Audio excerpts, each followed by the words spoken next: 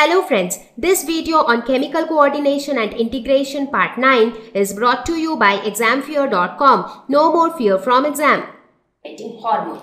So we see that this luteinizing hormone and the follicle stimulating hormone, both of them stimulate gonadal activity, that is the female gonads the, sexual organs. So it helps in the growth and development of the sexual organs and that is why both of them together are known as gonadotropins.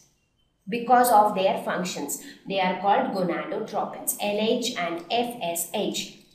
Right, so you got what their functions. LH will induce ovulation and FSH will induce the growth and development of the follicles, be it the ovarian follicle or be it the corpus luteum. So these were all the hormones which are secreted by the anterior pituitary gland. Now let us look at the posterior pituitary hormones. Now what are the hormones secreted by posterior pituitary? As I had mentioned before, posterior pituitary is nothing but it is a part of the hypothalamus. So the hormones which are secreted by them are actually secreted by the hypothalamus.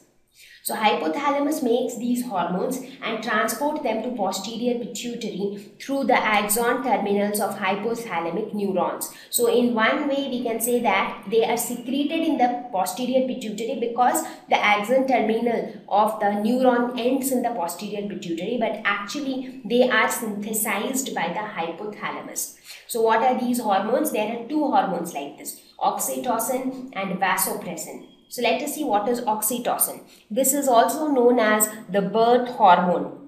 Why birth hormone? Because this also acts primarily on the female body where it regulates the contraction and relaxation of uterus muscles during childbirth. So have you ever seen that when, um, have you ever seen or have you ever heard of a lady experiencing a lot of pain while she gives birth to her child? Why does that happen? Now, when a female gets pregnant, what happens is that the child is the child remains inside her body in the uterus. So uterus is that sac-like structure which can actually keep the child for nine months. Right? Now, when the childbirth has to take place, the child has to be moved out of the uterus and how does that movement happens? That movement is facilitated by the contraction and relaxation of the uterus muscles. That contraction and expansion actually pushes the child towards the vaginal opening so that the child can be uh, brought out of the female body right so during this contraction and relaxation of the muscles of the uterus some hormone has to play the role. So that hormone is the oxytocin. So what does this hormone do? This hormone acts on the smooth muscles of the body and cause their contraction. So somebody has to initiate that process of contraction and that is done by the oxytocin hormone.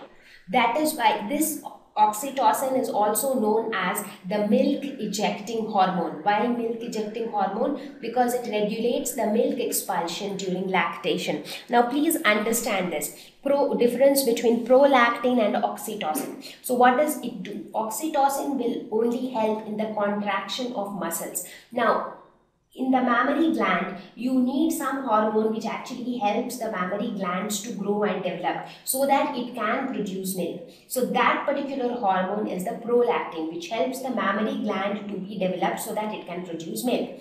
On the other side, you need another hormone which can cause contraction of the muscles of the mammary gland so that the milk can be brought out so that the milk can be sucked in so those that those hormones which actually help in the contraction of the muscles that is the oxytocin so that is why it is known as milk ejecting hormone because it does not help in the production of milk or it does not help the mammary gland in any way. It just, just helps the milk to be ejected out of the mammary gland. That is why it is milk ejecting hormone. Next is the vasopressin what does it do? It regulates the water balance in the body. So one example of uh, vasopressin or vasopressin is often known as the ADH that is antidiuretic hormone that is because it controls the water balance in of the body. How does it control the water balance? By reabsorption of water and electrolytes by DCT in kidneys. Now this we discussed about the excretory system in detail when we spoke about kidneys, right? Inside kidney, what are the functional units of kidney? They are nephrons. And this is how the structure of a nephron looked like. You remember? Yes. So here we saw that there was a part where reabsorption of water and electrolytes took place known as the DCT or distal convoluted tubule. So this portion, this yellow colored structure here, too much coiled structure, this was distal convoluted tubule. So where a lot of water reabsorption took place. So this water reabsorption in the distal convoluted tubule happened due to the presence of this hormone vasopressin.